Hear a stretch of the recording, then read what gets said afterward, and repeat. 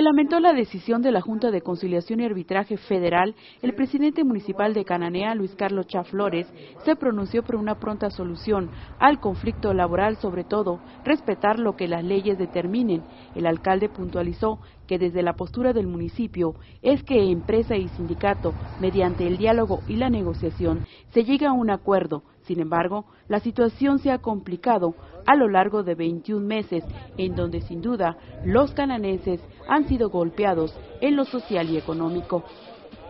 Sí, la situación se ha complicado cada vez más y es claro y es eh, definitivo que ambas partes decidieron llevar esto a los tribunales, ¿verdad? Y como tal se han dado resoluciones, se han dado este, situaciones eh, a favor de una u otra eh, de uno u otro lado, ¿no? Como sindicato, como como empresa, pero eso este pues ha complicado la situación sobre la concentración de elementos federales, los cuales se mantienen en la ciudad.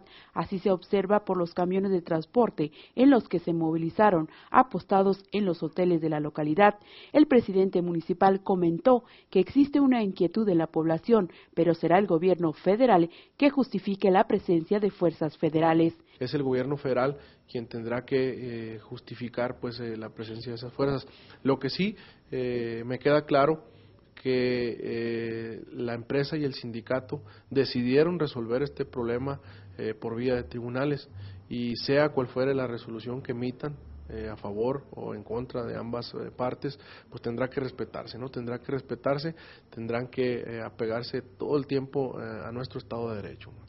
Agregó que el llamado es a la empresa, sindicato y Policía Federal a que todo se tome con calma.